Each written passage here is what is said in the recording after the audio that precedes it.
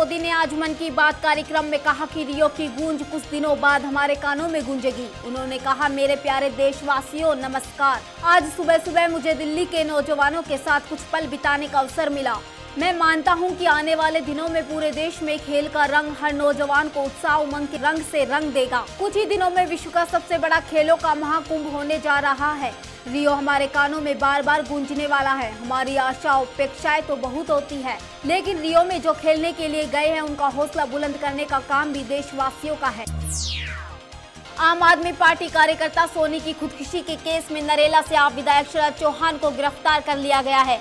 Delhi police ने शरद को गिरफ़्तार किया है। दिल्ली क्राइम ब्रांच लगातार तीन दिन से शरद चौहान से पूछताछ कर रही थी। खुदकुशी के बाद से कार्यकर्ता के परिवार ने आरोप लगाया था कि विधायक के करीबी रमेश भारद्वाज सोनी को विधायक के कहने पर परेशान कर रहा था। इससे तंग आकर सोनी ने आत्महत्या कर ली। विधायक की गिरफ्तारी के बाद आप नेता आशुतोष ने ट्वीट कर कहा, एक और आप विधायक गिरफ़्तार। क्या मोदी पागल हो गए हैं? क्या उन्होंने अपना दिमागी संतुलन खो दिया है? अगर पीएम इस गुस्से और प्रतिशोध के साथ काम करेंगे तो क्या देश सुरक्षित है? कांग्रेस नेता रणदीप सुरजेवाला ने अभिनेता आमिर खान पर दिए गए बयान को लेकर रक्षा मंत्री मनोहर पर्रिकर पर हमला बोला है। पर्रिकर ने शनिवार को कहा था कि आमिर खान के देश छोड़ने वाले असहिष्णुता के बयान, अहंकार से भरा बयान बताया था। सुरजेवाला ने ट्वीट किया कि मनोहर पर्रिकर से साबित होता है कि ये दलितों और अल्पसंख्यकों को दबाने की साजिश है। क्या ये राजधर्म हो सकता है? सुरजेवाला ने इस सवाल भी उठाया, क्या मनोहर पर्रिकर का काम भारत की पाकिस्तान जैसे हमला करने वालों की रक्षा करना है? या अपने अभिनेता आमिर खान जैसे अपने देश के नागरिक को धमकी देना है। दिल्ली के सभी सरकारी स्कूलों में एक साथ पेरेंट्स टीचर्स मीटिंग आयोजित होने के बाद डिप्टी सीएम मनीष सिसोदिया ने एक चिट्ठी जारी की है। अभिभावकों के नाम लिखी चिट्ठी में सिसोदिया ने कहा कि बच्चों के भविष्य को सुधारने में टीचर्स के साथ पेरेंट्स का भी अहम योगदान है। उन्होंने कहा पेरेंट्स टीचर्स मीटिंग का ये पहला अवसर था। इसका मकसद है कि बच्चों के बेहतर विकास के लिए टीचर्स और पेरेंट्स के बीच सीधा संवाद हो। बच्चों के सपनों को पूरा करने के लिए आप मेहनत करते हैं और साथ ही टीचर भी। हमारे स्कूलों में टीचर्स के टैलेंट की कमी नहीं, बस थोड़ा पढ़ाई के माहौल व्यवस्थाओं को लेकर कमी है। सिसोदिया ने वादा किया है कि सरकारी स्कूल में सुविधाएँ प्राइवेट स्कूल से बेहतर बनाएँगे। प्रिंसिपल और टीचर्स को अंतर्राष्ट्रीय ट्रेनिंग दिलाई जा रही है। कल यानी शनिवार को दिल्ली सरकार ने स्कूलों में पीटीएम यानी पेरेंट्स टीचर मीटिंग का आयोजन किया था, लेकिन इस मीटिंग के बाद एक तेरह साल की लड़की ने खुदकुशी कर ली। पश्चिम दिल्ली के ख्याला इलाके में 11 साल की बच्ची करिश्मा ने फांसी का फंदा लगाकर खुदकुशी की। घर वालों का कहना है कि स्कूल की तरफ़ से की गई शिकायत की जानकारी मिलने के बाद डर के मार इसने खुदकुशी कर ली।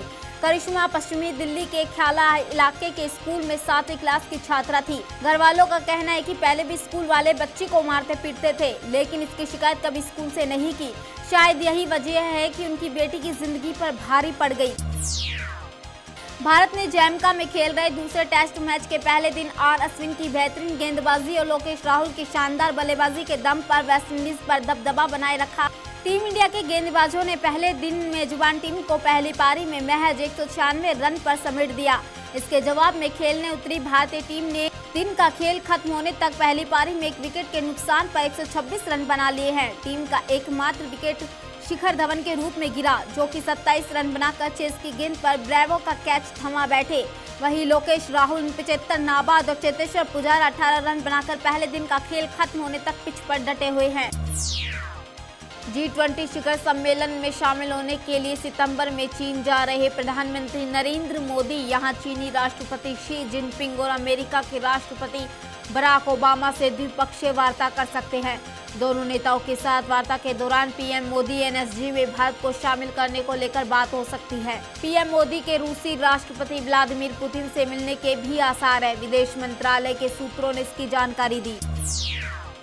विदेश मंत्री सुषमा स्वराज ने शनिवार को कहा कि सऊदी अरब और कुवैत में सैकड़ों की संख्या में भारतीय बेरोजगार हो गए और विदेश राज्य मंत्री वी के सिंह इस मुद्दे को सुलझाने के लिए सऊदी अरब जाएँगे। सुषमा ने ट्वीट किया, सऊदी अरब और कुवैत में बड़ी संख्या में भारतीय अपनी नौकरियाँ गंवा चुके हैं। नियोक्ताओं ने वेतन नहीं दिए और अपने कारखाने बंद कर दिए।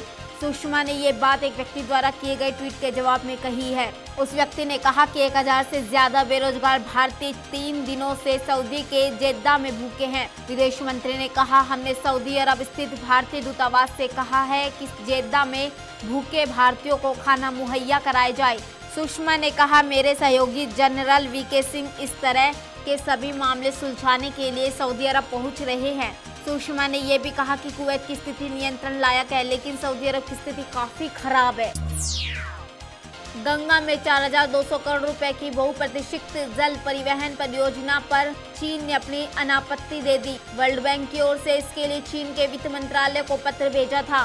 चीन के इंटरनेशनल फाइनेंशियल इंस्टीट्यूशन डिवीज़न एक यंग युआनी जीए ने वर्ल्ड बैंक के कंट्री डायरेक्टर को संबोधित पत्र लिखकर योजना पर किसी प्रकार की आपत्ति न होने की बात कही है।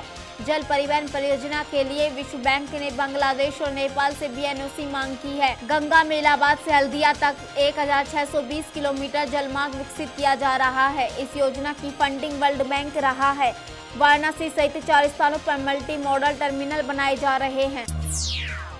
थाने पुलिस ने करोड़ों रुपए के एफेड्रीन रैकेट के मामले में पूर्व फ़िल्म अभिनेत्री ममता कुलकर्णी के गुजरात, मुंबई और आसपास के इलाके में स्थित कम से कम आठ बैंक खातों पर रोक लगा दी है।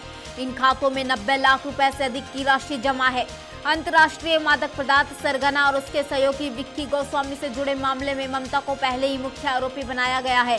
एक वरिष्ठ पुलिस अधिकारी के अनुसार इस मामले की जाँच के हिस्से के तौर पर सभी आठ बैंक खातों को फ्रीज कर दिया गया है। क्योंकि ऐसा संदेह है कि उनकी प्रॉपर्टी और बैंक खातों से ड्रग रैकेट को मदद मिली थी। दिल्ली के इंदिरा गांधी इंटरनेशनल एयरपोर्ट पर दो सांसदों के बीच हाथापाई होने की खबर सामने आई है। आरोप है कि एआईएडीएम के सांसद शशिकला पुष्पा ने डीएमके के सांसद तिरुचि शिवा को सरेआम थप्पड़ मार दिया।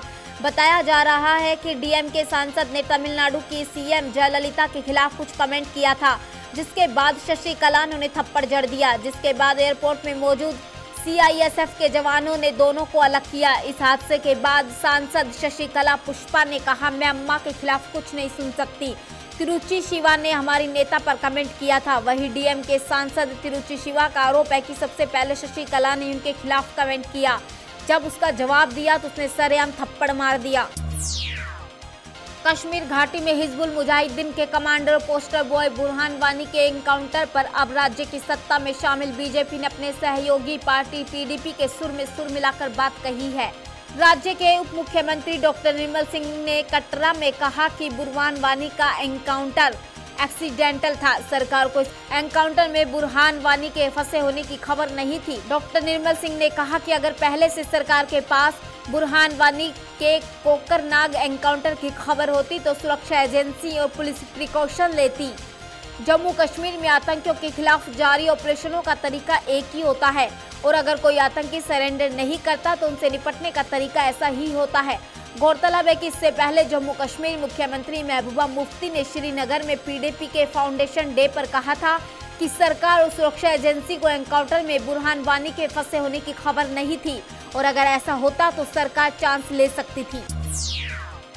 यूपी में चुनाव से पहले देश के दो बड़े दलित नेताओं के बीच जुबानी जंग छिड़ गई है। पहले महाराष्ट्र के बड़े दलित नेता और केंद्र सरकार में राज्य मंत्री रामदास अठावले ने अंबेडकर के नाम पर मायावती पर केवल राजनीति करने का आरोप लगाया।